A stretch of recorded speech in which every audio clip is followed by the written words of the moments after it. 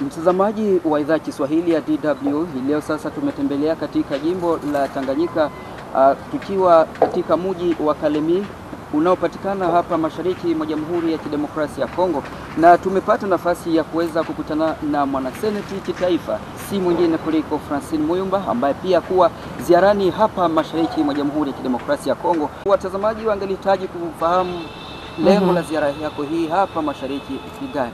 Asante sana mpasha habari, mmejua ya kwamba mimi nilikuwa hii ng'ambo ya nchi na ninatembelea uh, sana sana hii ng'ambo ya region ya, ya, ya East, lakini vile vile pia nimetembelea mikoa mengi sana uh, Kongo nzima kwa sababu nime nimetembea nimesh, nimeshafika mikoa zote za Kongo na nimeenda e, kukutana na wananchi na kuangalia uh, shida ambaye mbalimbali wanazo inaye, kwa sababu sisi tunawasimamia tunawatetea, na inabidi eh, mara na mara tushuke na tuende tukawasikilize. Tunajua kwamba unajua upande huu wa mashariki ya Kongo umegubikwa na vita vya muda mrefu uh, hususan wanawake wakiwa ni wahanga wa vita hivyo, pia vijana wanakuwa wakiorozeshwa katika makundi ya wasi.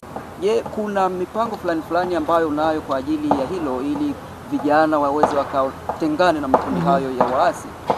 Yaani, umeona kwenye vita wanawake wanateswa sana kwa sababu uh, wao ndio ambaye wametumikishwa kama hiyo wameita weapon ya, ya, ya, ya vita uh, kwa sababu wamebakwa, wanawake wanateswa sana na maviolence mbalimbali, na mimi nawaza kama mwanamke na, na ule ambaye anawatetea, nina pia hiyo responsibility ya kutetea wanawake ambaye wameteseka na pia uh, na hiyo uh, kuona uh, gisi sisi tunatumika uh, musekta ya sheria, tutaendelea kutetea wanawake na wale ambaye wana shida mbalimbali, nawaza kama tutawasimamia.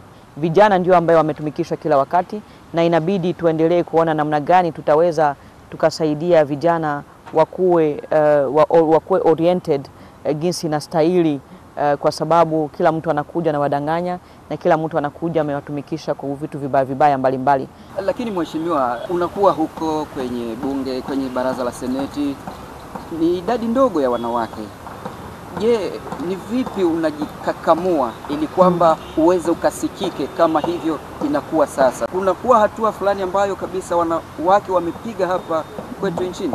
Uh, asante. Mimi nilianza mbele sana shuleni, nilikuwa kiongozi wa wanafunzi, nilikuwa pia kiongozi kwenye university wa vijana. Uh, nilianza mbele sana kwa sababu baba yangu alikuwa akiniambia kila siku kama hakuna mwanamke hakuna mwanaume, mbele ya kazi, kazi ni kazi, na kila mtu ataweza kafanya hiyo kazi moja, na ataweza pia katumia hekima yake, elimu yake, kuona namna gani ataweza ka contribute kwenye development ya nchi yetu. Na mimi nawaza kama wanawake, sisi wanawake tutaweza tukaleta change kwenye, um, kwenye, kwenye, kwenye leadership ya Kongo na tutaweza tukafanya vitu tofauti na wale ambaye walioongoza. Jana hiyo umeweza kutawazwa kama vile mwanasheria kirasmi. Daraka hilo nyipya ni vipi utalitumikia?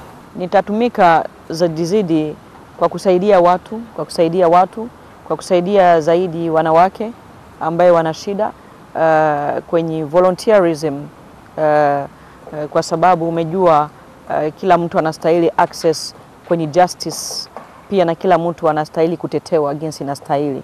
DW hii leo tumekuwa tumetembelea jimbo la Tanganyika ambalo uh, ni miongoni mwa majimbo ya Jamhuri ya Kidemokrasia ya Kongo na ambako tumepata nafasi ya kuweza kuzungumza na mheshimiwa mwanaseneti Francine Muyumba ambaye ameweza kutuletea mambo ambayo wenyewe mmeweza kusikiliza na kutizama.